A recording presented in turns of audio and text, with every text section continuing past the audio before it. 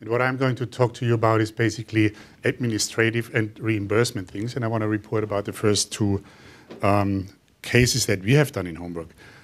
Um, my interest in, in the esophagus goes back about 20 years when I had the privilege to develop esophageal surgery, basically in Bern, Switzerland, um, at that time. And I was mostly interested in complications after esophageal resections, namely acute lung injury, gastric uh, tube perfusion, and such. That was my interest, and that's how I got into that field. Now, when I took over that chair, uh, down here in Homburg, um, of course, I had to change the whole my whole focus of the work. Uh, like most German surgeons would do, you get a broader spectrum, which I'm going to show in a minute. Now, Homburg down here is not to be confused for the people who are not familiar with the German uh, the German map with Hamburg up here or with Bad Homburg just outside the doors of Frankfurt. It's a town of about 40,000 people, um, but we service basically a big chunk of uh, naturally the Saarland and the surrounding Rheinland-Pfalz. Um, and this is about the things that we are doing.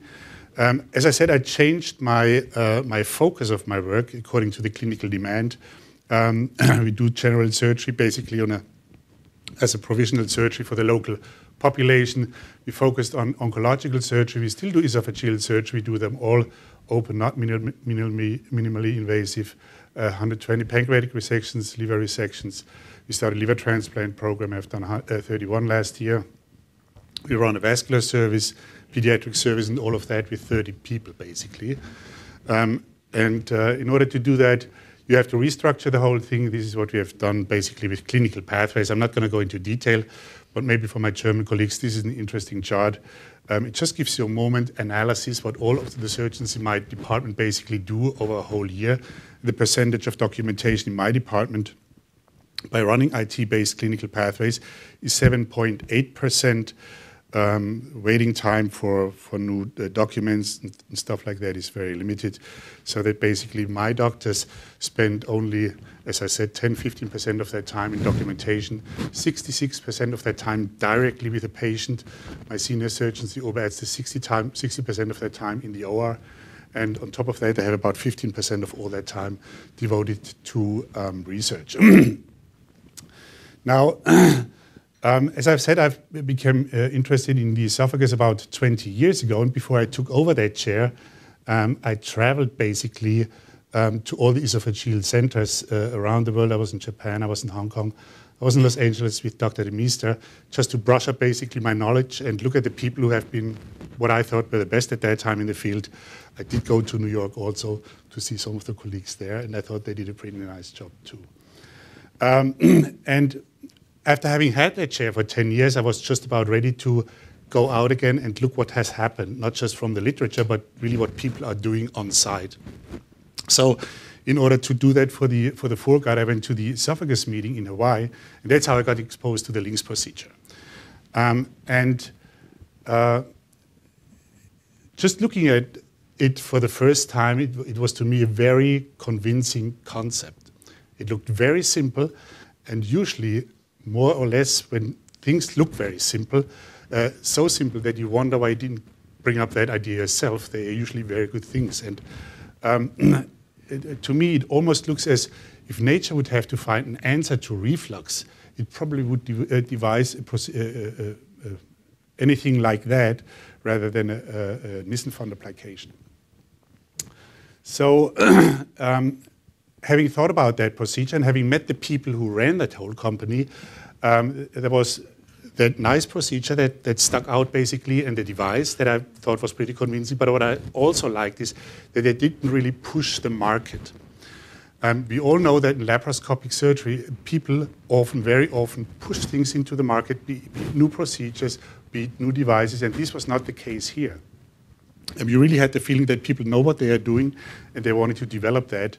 Um, and I'm coming to that uh, in my discussion slide a little bit.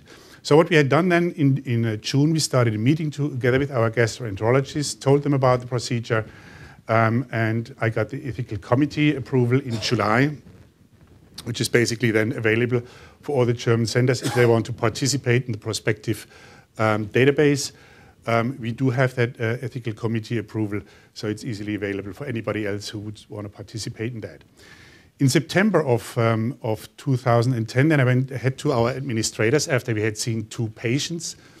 um, that we thought would probably be um, good candidates. And as you all know, the gastroenterologists usually send the, the, worst patients to the surgeon. Now, those two patients, they really required surgery. They said, You're fed up, and I'm going to come to that in a minute, too. Um, and then um, we talked about, uh, um, about financial issues, about commercial issues that the company had, and Brent Collins was very open about that. Um, they needed to have uh, the European centers open or the German centers open. And that was one of their keystones by the end of 2010 in order to have the, uh, uh, the investors basically stay on the thing. And being convinced that this is a thing that should stay in the market, I really went ahead and tried to do our first case in December of 2010. In February of 2011, we did our uh, second case. And uh, then after we had done that, that's, that's basically in March, sorry for that. Uh, in March, our administrative um, director, he basically withdrew the approval. And I asked him why that was. I never got, got a written statement for that. Um, but I think it had to do with the rejection of the NUB-Antrag. I think that was declined or basically was given second, second priority. Now, the NUB is basically for the, the, the non-German or the people not familiar with our German system. It's a system where you can apply for public funding um, by the by the caregivers basically that whenever you have a new procedure, it needs to be approved by a committee, and then the health insurers have to pay for that if it's approved by that committee.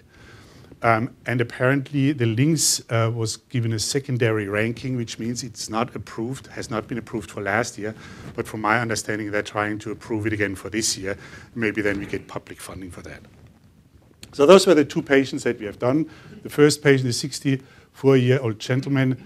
Um, he had 30 years of, uh, of uh, multiply um, proven gastroesophageal reflux disease. He had a PPI dose escalation and he still was symptomatic. Um, what was complicating, he had a severe rheumatoid arthritis and he was uh, needing anaphylaxis uh, uh, um, um, uh, painkillers for that. That certainly aggravated the whole situation. Um, we basically ran through all the uh, inclusion criteria that are there in, in the prospective trial, and uh, the patient came out with, um, with 32 points on his GERD uh, quality of life score. We did the procedure at the end of, um, of November in 2010. It took me uh, uh, nearly two hours, well, a little bit more than one and a half hours. The problem was that I couldn't get the ring closed. The ring placement itself was rather simple, but I just couldn't get the lock closed. So we took it out and put in a second one.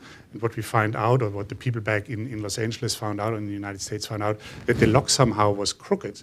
And maybe I took it with a grasp, which I'm not 100% sure. It was crooked just by manufacturing. And that's why I just couldn't close it. Um, the, the dissection was pretty simple. And um, I've also had the training um, in Milan, just like everybody who does the procedure in Germany does. Um, I had the training there, and we both had seen um, basically the minimal dissection. That's what we had done. Um, the people from LINX, uh, from, uh, from Torax came over, and they basically supervised the whole procedure. They were there too. Um, and uh, as I said, it took me a rather long time, but the patient was doing excellent postoperatively. Um, I did the procedure, I think it was on a Friday. We discharged the gentleman on Monday because just we don't discharge him on, on Sundays. Um, and, uh, but he was truly fine on the first, second post-operative day. Um, we had seen him again in uh, January of 2011. He did not have any reflux, no regurgitation at that point in time. Um, I had mentioned that he had severe breathing problems um, pre-operatively, and his breathing had improved so much that he was being able to go back basically to his uh, early morning physical exercise. That was one of the biggest surprises for him. Um, he lost an additional, uh, he lost six kilograms of weight, and he did have dysphagia in the beginning. Um, that's what he complained most the first two or three days, the dysphagia, and I just went back to the people, um, to Brandon, and talked to him, and we both talked to the patient and said he has to eat, he has to go back and swallow, he has to force himself to really make sure that he trains the device down there. And this is what he has done, and um, he has been fine ever since. Then we did our second patient, who was a 26-year-old uh, young man. He had a three years history of GERD. He also had pulmonary symptoms, um, grade A esophagitis. Also, his quality of life was basically limited, and he came in and he was saying, I want some kind of a surgical procedure. I cannot do that anymore. My quality of life has gone down tremendously. I need just something. So I introduced basically um, the, uh, the LINX procedure to him, talked uh, him through the whole thing, and he agreed to do it too. Um, we did that then in February of 2011. Um, the procedure at that time took me about an hour. Um, I think you can do it much shorter, um, but that's not the point, I think, um, doing it very quick. In the beginning, I think it's more important that you, you get the ring placed right. so we had a bit of a discussion there where to really place it, and I think all the discussion that I had before, it, it's, it's certainly the right thing to do to place it before the the vagal branches uh, branch off to the stomach. I think that's the most important thing because you might get bleeding there. You know, all know that when you dissect down there. Um, in March of 2011, um, we saw the patient again. He had no reflux at that time. His breathing had improved, and this is the first thing that he said, uh, or that he told me that he was being able to go back to chocolate pudding, which was one of his favorite dishes, and he had not been able to eat before. Um, and you see that his quality of life also improved at that time. This was the um, Gastrografin swallow that we did in that patient. Um, just wanted to see how the device was placed. I think that was mentioned before. It's about a 45 degree angle that you see probably post-operatively, um, and that was what we had gotten. So I'm not going to entertain you for 45 minutes. I basically come, can come back to the conclusions at that point uh, already. Um, I think it's a technically, to me, very, very convincing procedure. Um, the word um, gut machbar translates poorly into English. Um, the closest thing that I can come up with is doable. And when I say gut machbar, it means um, that the procedure is so simple that I personally worry about it that if you just spread it out too rapidly, it's going to probably be overused, probably by the people who do not know what they're doing up there at the gastroesophageal junction, but just a regular, probably very good laparoscopic surgeon, but who is not familiar with that area up there. And then I worry that after five, 10, or 15,000 procedures, we probably see the same phenomenon as we have seen with laparoscopic cholecystectomy. We see some of the most severe complications that you can get in hepatobiliary surgery. The challenges that I see for the procedure is um, the vagal nerve injuries. And I think those are probably the complications that we might see once we have a number of thousand patients out there, uh, be it false placement, being for any other reasons, being for patient side reasons, that we might see vagal nerve injuries. And you all are familiar with that. If the patients have gastric emptying problems, um, those can be really devastating um, situations for the patients. If you treat those patients, they're not very happy with, with many things that you do for them. Reimbursement at this point in time is for me a problem, but I think that can be solved with the help of, of Torax Medical. They have come up with new, basically, DRG groups that we do have at this point in time. I personally think um, that we will have to go to an outpatient procedure, and I also um, agree that it's basically the patient that you have to focus on. That gives us our professional legitimation and by the way, it also gives a professional legitimation for our hospital administrators. They only have a job because the patients are there and coming to the hospital. So I think we have to talk to them and make sure that this is the procedure that in experienced hands can certainly be done for a certain group of patients as an outpatient procedure, but it has to be reimbursed not just on a daily basis, but on what the true costs of the procedures are.